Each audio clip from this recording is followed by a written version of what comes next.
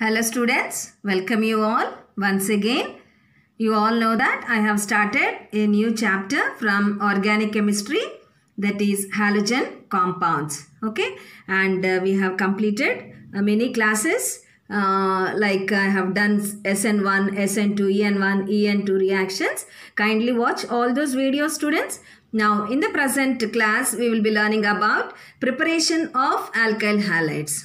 Kindly put the side heading preparation of alkyl halides. Okay. Number one, the first method is from alkanes. So the alkane which we have taken here is methane that is CH4. Okay. So how can we prepare alkyl halides from methane? So methane on chlorination. So chlorination means addition of chlorine in the presence of light. This is H students.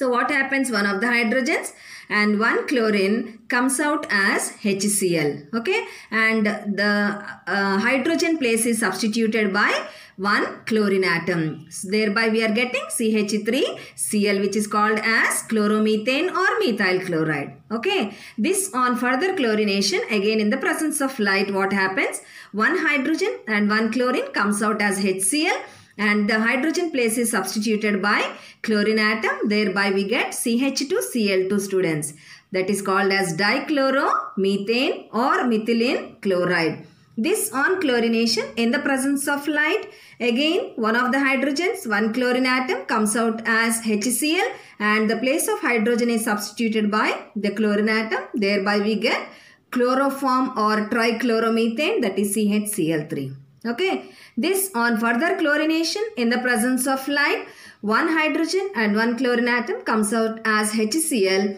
and finally all the hydrogens in methane are replaced by the halogen that is chlorine atoms. It is called as uh, carbon tetrachloride or tetrachloromethane that is CCl4 students. Okay, so this is the first method of preparation of alkyl halides that is from alkenes. Next is second method from alkenes. Kindly put the side heading from alkanes. Okay, so let me take the alkene CH2 double bond CH2. What is this called as students? Ethylene. Ethylene plus HCl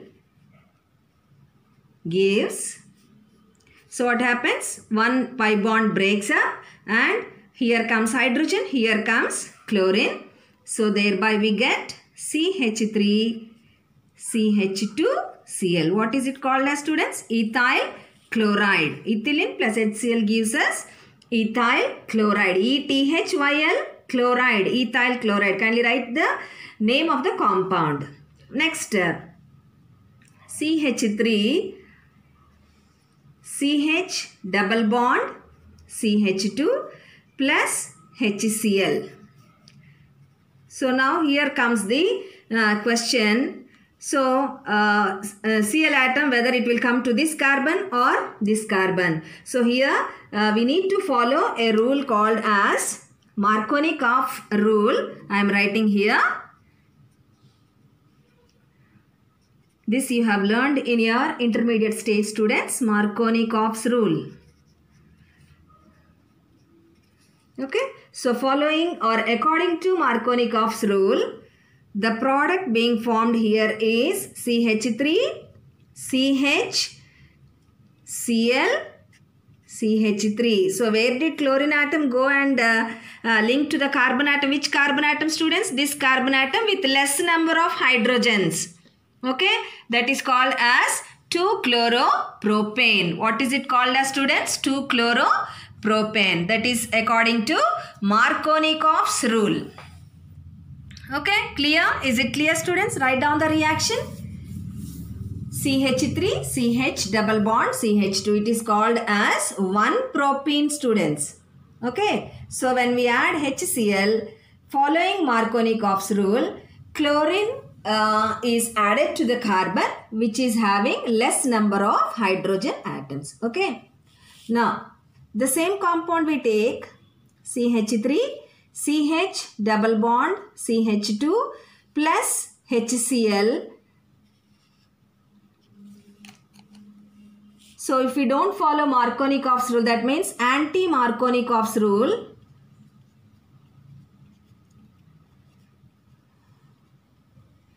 K-O-F-F apostrophe S, anti-Markovnikov's rule. What do we get students?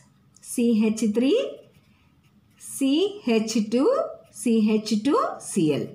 Okay, that means Cl is attached to this carbon and hydrogen has come to this carbon which is called as N-propyl chloride. Okay, this is 2 chloropropane and this is 1 chloropropane. Okay, students, kindly write their names, uh, students here. 2 chloropropane, 1 chloropropane. Okay, so this is how we prepare alkyl halides from alkenes. Okay, next, third method, put the side heading. Put the side heading from alcohols. From alcohols. Okay, so let me take CH3, CH2, OH.